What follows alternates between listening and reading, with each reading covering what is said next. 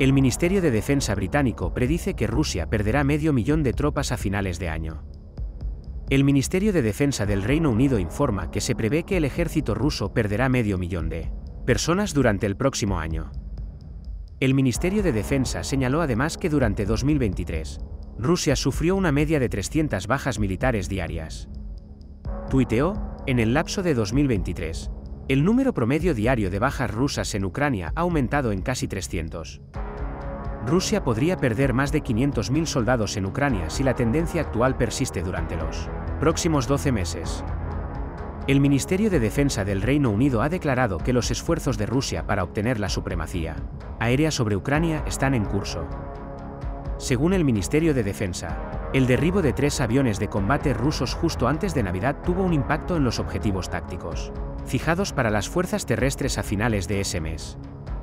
Pero a un nivel más bajo que antes de los derribos, dijo, añadiendo que los ataques aéreos rusos se han intensificado en los últimos días.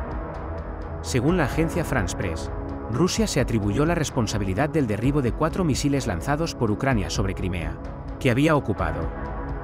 El ataque se produjo apenas un día después de que Rusia afirmara haber derribado 36 drones ucranianos sobre Crimea en un esfuerzo por frustrar su invasión. Los funcionarios de defensa rusos anunciaron que cuatro misiles disparados por el ejército ucraniano sobre la península de Crimea fueron derribados por la defensa aérea activa. Desde que comenzó la invasión a gran escala de Rusia en 2014, Ucrania se ha centrado en recuperar Crimea. A principios de la semana pasada, Kiev afirmó haber atacado una estación de mando cerca de Sebastopol. A medida que la batalla se acerca a su segundo aniversario, ambos bandos han intensificado sus ataques en los últimos días. La Federación de Rusia ofrece una oferta de reubicación a los habitantes de las ciudades fronterizas. Las autoridades rusas en la ciudad fronteriza sureña de Belgorod han hecho una declaración innovadora, ofreciendo evacuar a los ansiosos residentes. Esto se produce después de oleadas de ataques mortales por parte de los ucranianos. Según Reuters, el Kremlin ha estado tratando de mantener las cosas algo regulares en casa, pero los últimos ataques a Belgorod han hecho que la lucha sea mucho más personal para los rusos. Asegurar a los aterrorizados residentes que pueden mudarse es el paso más drástico que ha dado cualquier gran ciudad rusa desde que Moscú lanzó la invasión de Ucrania hace más de dos años, según el gobernador Vyacheslav Gladko. Describió haber visto muchas súplicas en las redes sociales con las palabras tenemos miedo. Ayúdanos a llegar a un lugar seguro, escritas por las víctimas. ¿En realidad?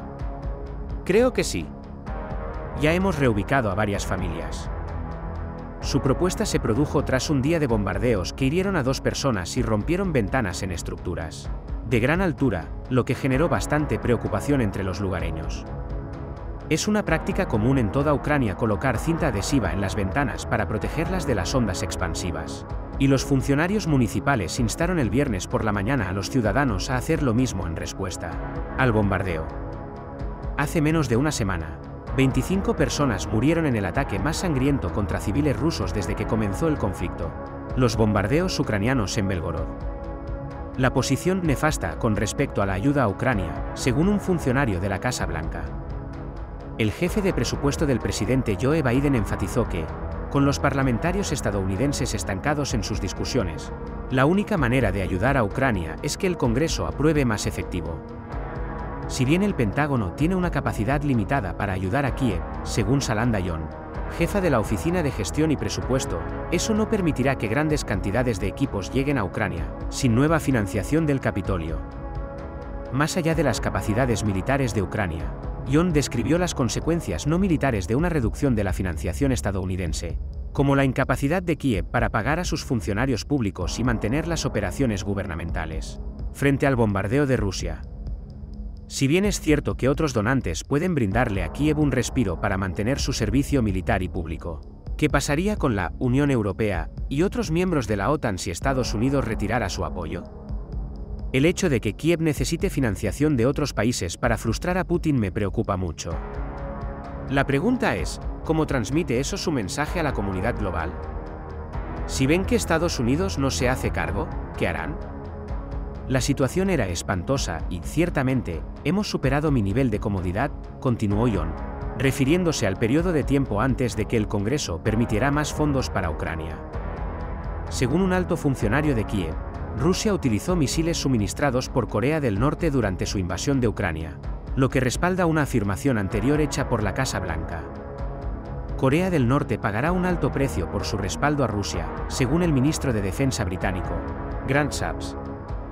El Ministerio de Defensa ruso anunció el sábado temprano que las fuerzas de defensa aérea rusas interceptaron y destruyeron con éxito misiles y drones durante una serie de ataques nocturnos sobre la península de Crimea y la sección occidental del Mar Negro. El ejército ucraniano ha sido inconsistente en la divulgación de sus operaciones en Crimea y, y hasta el momento, no se ha emitido ningún informe sobre este hecho. Tras la trágica pérdida de vidas y varias personas desaparecidas entre los jóvenes involucrados en el conflicto, en Ucrania y Rusia, el gobierno nepalí ha impuesto una restricción de viaje a sus residentes. La mayoría de estos tipos eran miembros del ejército ruso. Según el Ministerio de Asuntos Exteriores de Nepal, se dice que unos 200 soldados nepaleses se unieron al ejército ruso durante la invasión de Ucrania en febrero de 2022. Durante la última semana, el combate terrestre ha seguido caracterizándose por una línea de frente estática o por una presencia local muy gradual. Avances rusos en sectores clave, añade un informe de la Inteligencia de Defensa Británica sobre Ucrania. Tras oleadas de mortíferos ataques ucranianos, las autoridades rusas en la ciudad fronteriza de Belgorod, en el sur, ofrecieron evacuar a sus habitantes. Un día después de que los bombardeos hirieran a dos personas y rompieran cristales de edificios de gran altura, el gobernador Vyacheslav Gladkov hizo una oferta.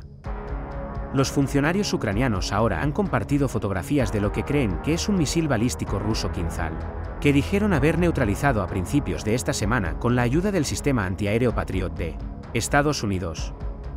Al guardián le resultó imposible confirmar la afirmación.